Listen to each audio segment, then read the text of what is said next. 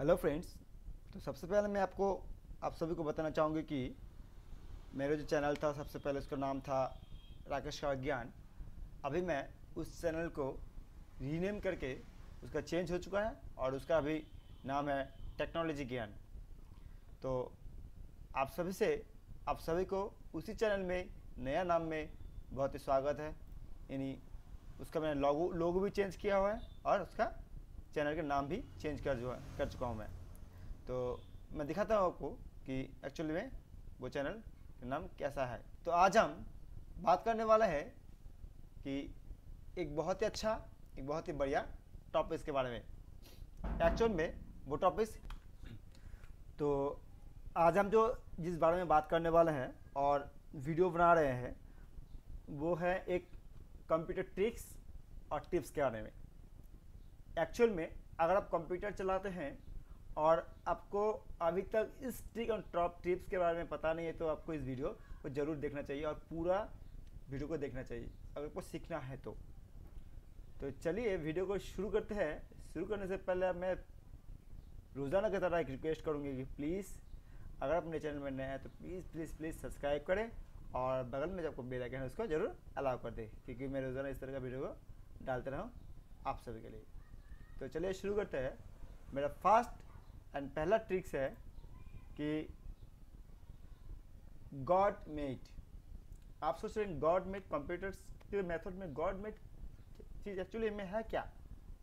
आप लोग सोच रहे हैं कि आपको, अगर अगर आपको पता नहीं तो मैं आपको बता रहा हूँ कि गॉड मेड यानी god mood sorry god mood एक ऐसा प्रोसेस है जो आप एक क्लिक करके कंप्यूटर का जब पूरा फुल सिस्टम का सेटिंग्स है, आप खोल सकते हैं। यानी आपको स्टार्ट बटन में जाना नहीं है, आपको कंट्रोल पैनल में जाना नहीं है, आपको किसी भी चीज़ को सर्च करना नहीं है, इस तरह से, ठीक है?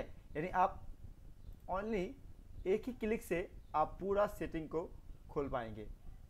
तो क्या है गॉडमेट चलिए शुरू करते हैं। देखिए गॉडमेट एक गॉडमेट आपको क्रिएट करने के लिए आपको करना क्या है? आपको एक न्यू फोल्डर्स ओपन करना है। ठीक है? ओपन करने के बाद एक कोड होता है इसके लिए गॉडमेट को क्रिएट करने के लिए। मैं आपको डिस्क्रिप्शन बॉक्स में दे दूँगी, या आप मेरे कंप्यूटर स्क्रीन पर भी देख पाएँगे। तो देखिए, मैं इसके लिए क्या कर चुका हूँ, इसको मैं कॉपी करके रखा हूँ, ठीक है? इसको आप कॉपी कीजिए। कॉपी करने के बाद आप इसमें, आपको करना क्या है, ठीक से देखिए।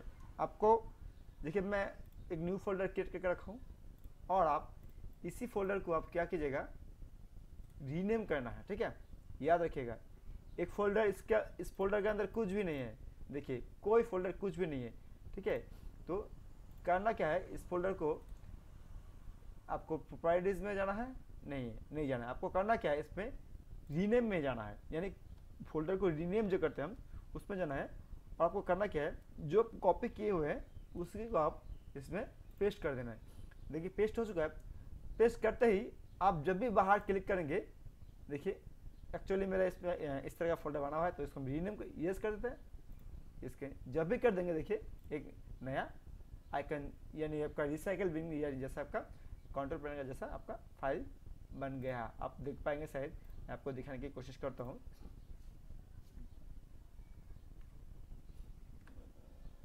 देखिए, मैं आपको दिखाने की पूरा पूरा कोशिश कर रहा हूँ।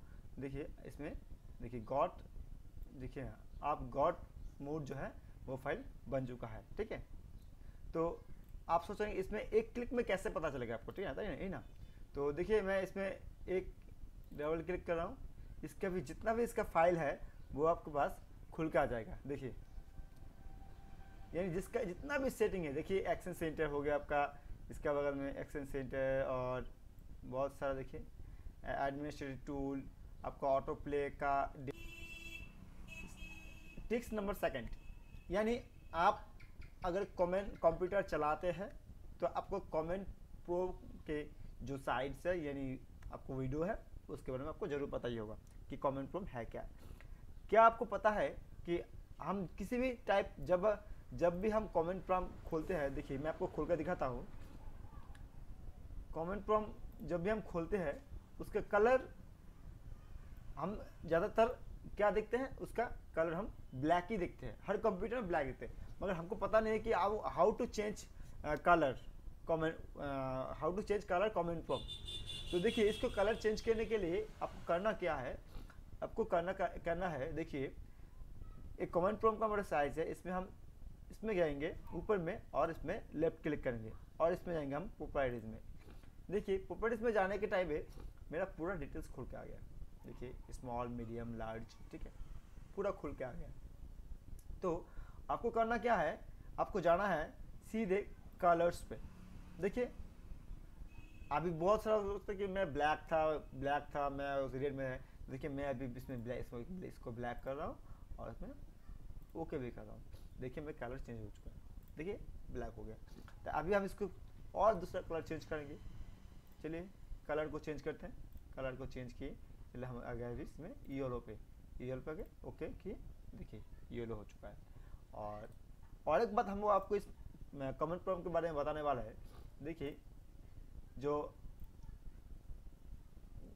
इसमें क्या होता है, इसमें साइज़ देखिए, हमारे कंप्यूटर में भी इतना साइज़ है। अगर हम चाहते हैं इसको साइज़ को थोड़ा बड़ा कर ले तो इस तरह का, देखिए, इसमें करके हम ओके करते हैं तो इसका साइज़ और भी बड़ा हो जा रहा है। तो चलिए हम इसके, हम इसको कलर को सही करते हैं। तो चलिए हम कलर ब्लैक को ब्लैक ब्लैक ही रहने देते क्योंकि मेरे जो अंदर का कलर है वो वाइट है। चलिए, ये तो हो गया मेरा सेकेंड टिप्स अभी हम बात करने वाला आपको थर्ड टिप्स मैं आपको ये प्रैक्टिकली नहीं दिखा पाऊँगी, क्योंकि मेरा सिस्टम जो है वो विंडोज़ सेवन का है और सिस्टम होता है विंडोज़ टेन में, क्योंकि मेरे पास विंडोज़ टेन सिस्टम नहीं है। देखिए, मैं आपको मेरा सिस्टम दिखा रहा हूँ। मेरा सिस्टम सिक्सटी फोर बीट्स का है और फोर जी रैम का है और सिस्टम विंडोज़ सेवन ओके इसलिए मैं आपको विंडोज़ सेवन का सेवन में आपको विंडोज़ सेवन का सिस्टम नहीं बता पाऊँगी। तो मगर आप, मैं आपको सिस्टम क्या है, वो पूरा बारीकी से बताऊँगी। देखिए, अभी हम सोचते हैं, आपको हम सिंपली दिखाते हैं, उसका नाम है क्लाउड क्लिपबोर्ड क्लाउड कीबोर्ड यानी क्लाउड क्लाउड कीबोर्ड है क्या एक्चुअल में? देखिए, क्लाउड क्लाउड कीबोर्ड एक ऐसा सिस्टम है जो अगर आप एक पूरा दिन में सोचिए आप एक दस पाँच फ़ाइल को कॉपी की, ठीक है? पाँच फ़ाइल को कॉपी कर चुके हैं यानी काम कॉपी पेस्ट कर चुके कॉपी पेस्ट कर चुके हैं। मगर आप क्या करते हैं, किसी भी फ़ाइल को कॉपी करते हैं, उसकी किसी जगह में पेस्ट करते हैं, ठीक है? फिर और एक फ़ाइल को कॉपी करता है, फिर पेस्ट करता है। तो आप सोचिए, अगर किसी फ़ाइल को कॉपी के बाद में उसको पेस्ट कर दिए तो क्या होता है? पेस्ट कर दिए, फिर और एक फ़ाइल कॉपी की और एक फ़ाइल पेस्ट की। तो ऐसा होता है कि अगर हम उस फ़ाइल को पेस्ट करके फिर दूसरा फ़ाइल कॉपी करते हैं तो वो पहला वाला जो मेरा कॉपी किया होता है वो हम लोगों को विंडोज़ सेवन में हम कर नहीं पाते, वो रहता है नहीं है। और विंडोज़ टेन में क्या होता है? विंडोज़ टेन में एक क्लाउड कॉपी क्लिक एक ऐसा सिस्टम है जो आप विंडोज़ टेन में ही कर पाएँगे। सिर्फ़ आप उस सिस्टम को एक्टिवेट कर देंगे। एक्टिवेट करने के बाद आप क्या करेंगे, उसको जो जितने फ़ाइल कॉपी किए आप आप उसको मन चाहे और आपको सिलेक्ट करके कि हम इस फ़ाइल को कॉपी किए, हम इसी को इसमें पेस्ट करेंगे। तो इस तरह सिस्टम ओनली विंडोज़ सेवन में होता है। सॉरी सॉरी विंडोज़ टेन में होता है। तो मेरे पास विंडोज़ सेवन है, इसलिए मैं आपको करके नहीं दिखा पा रहा हूँ। तो ट्रिक्स नंबर फोर। देखिए, एक बहुत ही अच्छा फोर ट्रिक्स, अगर सोचिए, आप अपने कंप्यूटर का जो यूज़र्स है, यानी आपका जो सिस्टम है, उस सिस्टम का पासवर्ड आप बिना जाने, यानी आप सोचिए, आप किसी भी कंप्यूटर का यूज़र्स बना हुआ है, उसका पासवर्ड चेंज करना चाहते हैं। यानी आप सोच लीजिए, आपका भाई, आपका कंप्यूटर को यूज़र्स को पासवर्ड से प्रोटेक्ट कर रखा हुआ है, ठीक है? और आपको पता नहीं है कि आप उस फोल्डर को कैसे उस पासवर्ड को कैसे आप चेंज कर दें। ठीक है आपको पासवर्ड चेंज करने के लिए आपको पहला वाला पासवर्ड पता होना चाहिए, मगर आपको पहला वाला पासवर्ड पता नहीं है। मगर कंप्यूटर ओपन है, ठीक है? तो आपको करना क्या है? कैसे आप बिना पासवर्ड जाने ओल्ड पासवर्ड जाने, नया पासवर्ड क्रिएट कर सकते हैं? तो उसी के बारे में बताने वाला है। यह है हमारा ट्रिक्स नंबर फोर। तो इसके लिए आपको करना क्या है? इसके लिए आपको जाना है कमेंट प्रॉम में। तो मैं चलता हूँ कमेंट प्रॉम देखिए, खुल गया। अब इसमें आपको टाइप करना है क्या? देखिए, इसमें लिखना है आपको नेट सॉरी इसमें छोड़ा आप net space U S E R user यानी नेट यूज़र इसमें टाइप करने के बाद आपको एंटर क्रिएट करना है। देखिए एंटर करने के बाद दिखा रहा है एडमिनिस्ट्रेटर गेस्ट यूज़र यानी मेरे पास सिर्फ़ एक ही है जो यूज़र इसमें कोई पासवर्ड लगा हुआ ही नहीं है। तो इसलिए मैं इसको कर नहीं पा रहा हूँ, ठीक है? तो आप तो करना क्या है? आप जब भी फ़ाइल बना हुआ रहेगा इस तरह से, आप क्या करेंगे? इसमें आपको पूरा नाम दिखाएगा, ठीक है? आपको इस जगह पे एक नाम शो होगा। इसी जगह पे एक नाम आपको सिलेक्ट होगा, ठीक है? इसी जगह पे। तो आप क्या करना है, आपको इसी प्रोसेस में आके आपको करना क्या है, आपको जो नेट यूज़र है, इसमें सेम आके अगर मेरा फ़ाइल आपका कुछ ऐसा कुछ फ़ाइल सोचे मैं आपका मेरा नाम ही लिख रहा हूँ, राकेश, ठीक है? स्पेस आपको सिर्फ़ फ़ाइल का नाम डालना है, यानी एडमिनिस्ट्रेटर जो है उसका फ़ाइल का नाम डालना है। जैसे मैं अभी राकेश नाम मेरे पास नहीं है, मगर फिर मैं करके आपको दिखा रहा हूँ किस ऐसे आपको करना है। राकेश डालना है। डालने के बाद आपको पासवर्ड डालना डायरेक्ट पासवर्ड डालना है। देखिए मैं पासवर्ड डाल रहा हूँ। One two three three two one one two three इस तरह से डालने के बाद आपको एंटर कर देना है। करने से क्या होगा? आपको ऑटोमेटिकली वो पासवर्ड चेंजेस हो जाएँगे। ठीक है?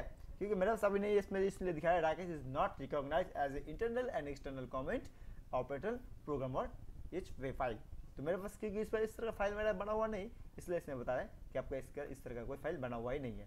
ठीक है? तो इस तरह से आप, आपका जो यूज़र्स का फ़ाइल है, वो आप चेंज कर सकते हैं। तो आज के लिए इतना ही। अगर आपको वीडियो अच्छा लगे तो प्लीज़ यार लाइक कर दो। और अच्छा लगे तो प्लीज़ दोस्तों के साथ शेयर करो। और सब्सक्राइब तो ज़रूर करना, क्योंकि देखिए एक वीडियो बनाने में बहुत ही मेहनत होता है तो आपके लिए आपका आप लोगों तो चलिए, आज के लिए बाय बाय